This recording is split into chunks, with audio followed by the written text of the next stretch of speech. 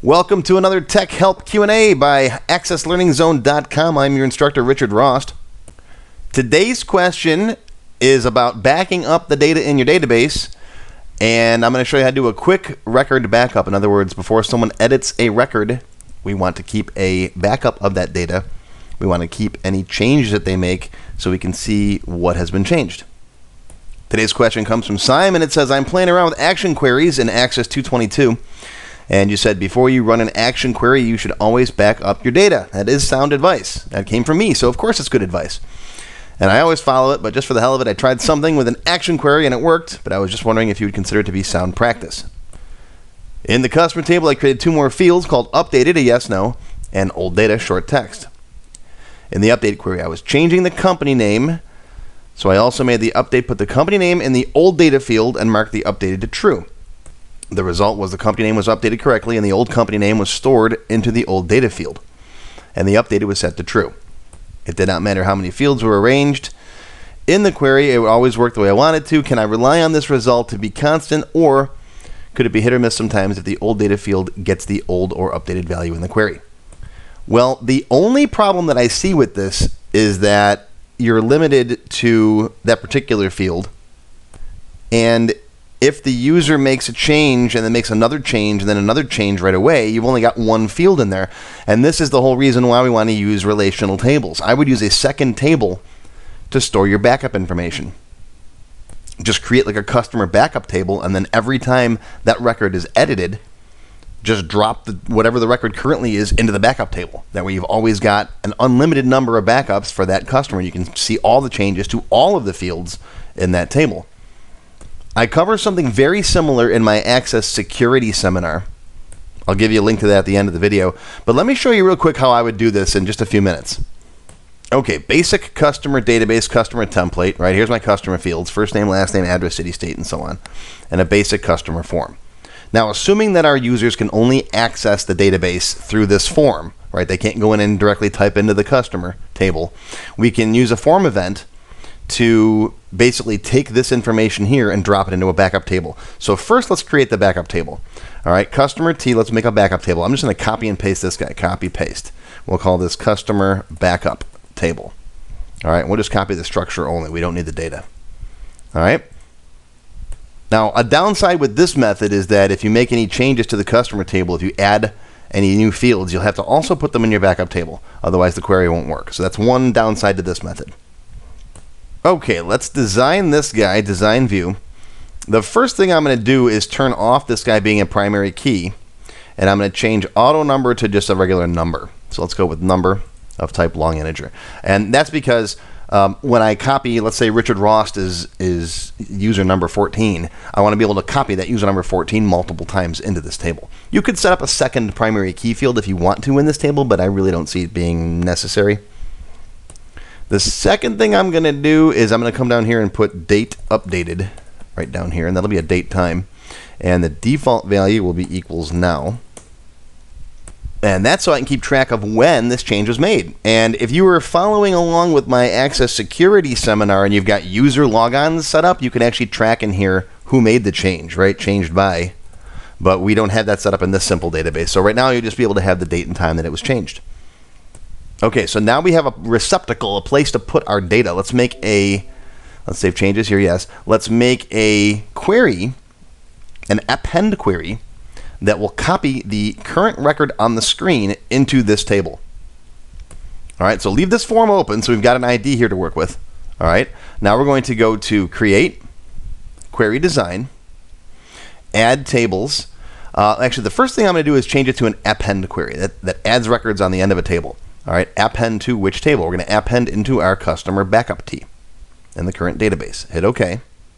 Now add the customer table as a record source. I'm going to close this now. All right. I'm going to add the star, all fields. That means copy all the fields from customer T into customer backup T. Again, that's why they've got to match. You can do individual fields. If you don't care about all these fields, you don't got to bother with all these. If you only want a you know customer name and address and you don't care about all the rest of the stuff, then then don't. But I'm just going to do all the fields.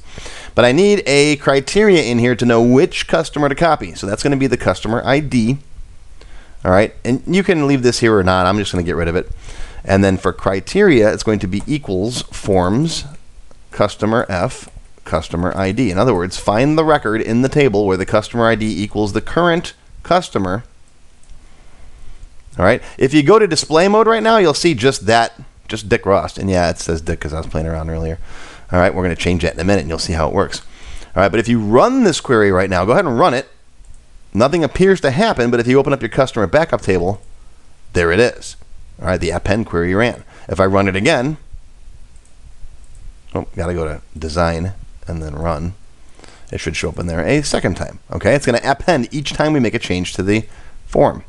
Let's save this guy as my customer backup Q, my customer backup query. We can close it. Now, what do we use to trigger it?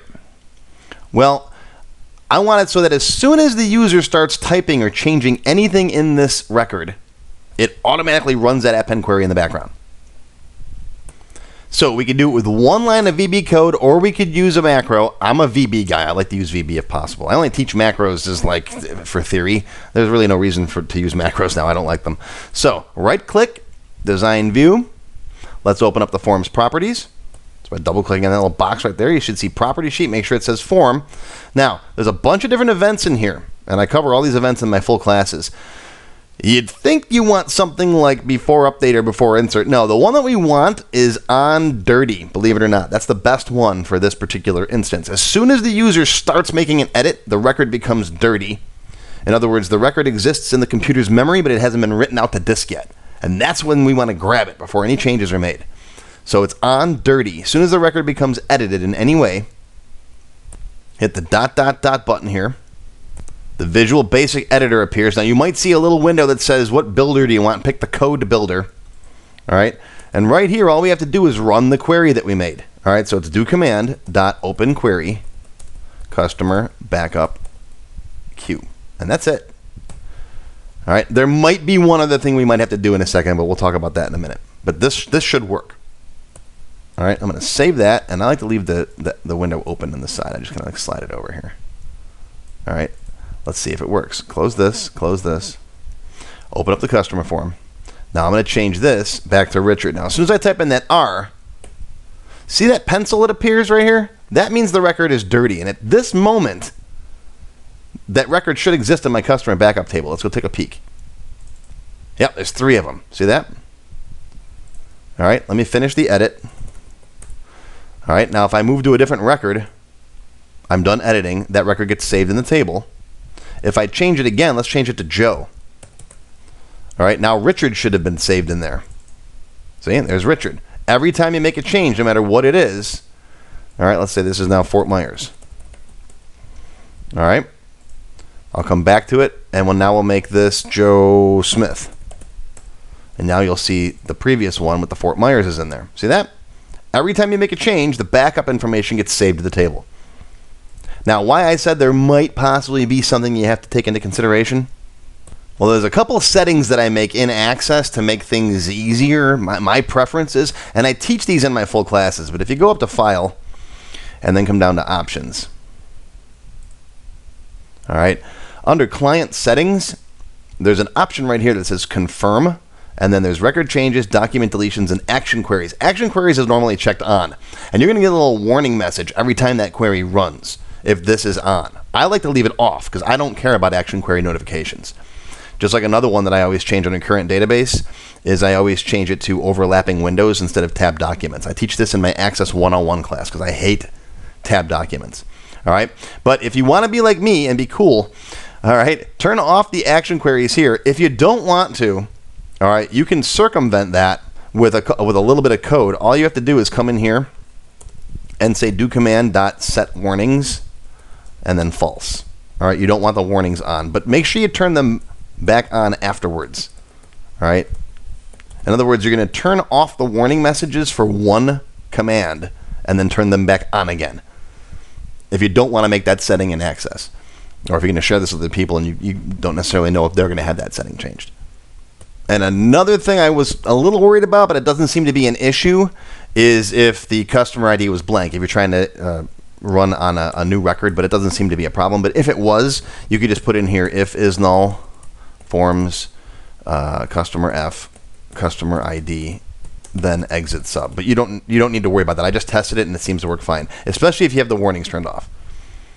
Okay, but this again uh, is all, really all you need is just one line of code, and if you make that simple little change, all right. All right. So if you care about more than just a simple track of the backup data, all right. If you really want to care about you know who did it and you want to make sure that they can't go in and edit your tables and, and, and change the backup data itself. If security is an issue, get my security seminar. I'll put a link to it in the uh, in the description below. But if all you want is a simple little backup for yourself, then what I just showed you is fine. And if you want to learn about any of the other topics that I talked about in today's Tech Help lesson, uh, the now function, field types like auto number and that, append queries, I've got an append query lesson available. I'll put a link to that below uh, warnings, the on dirty event, all that stuff. I've got full lessons that cover all this stuff. So I hope you learned something today. Make sure you check out the templates section on my website. Be sure to subscribe if you want to see when I release new videos like this. And make sure you ring the bell, hit the little bell button, and pick all, because then you'll get notifications. You'll get an email every time I post a new video on YouTube. If you want to see your question answered, just like this one, you can send it to me on my Tech Help page. That's where you get priority, by the way. Send it there on the Tech Help page. You can email me if you want to, but if you send me a big long email without it going through the Tech Help page, I might or might not read it right away. I'll read all of them eventually, but I sometimes if I see a big long email come in through regular email, I just I snooze it until I have time to read it. I've got forums on my website that you can participate in. I've got a pretty active Access Learning Zone Microsoft Access discussion group on Facebook there's all my other pretty stuff YouTube, Twitter, my blog. Okay, here's the shameless advertising portion of the class. Right? You watch the free lesson. Now I get to now I get to advertise to you a little bit. Uh, access level one, three hours long. Three hours long. All right, watch it if you want to learn the beginning basics of Access, or if you got a friend that wants to learn Access, point them here. And then if you want to continue on, level two is just one dollar, and I've got a special membership option available as well, where you can get half off by getting a new class every week and all the way up to my developer stuff. All right, that's it. Thanks. We'll see you next time.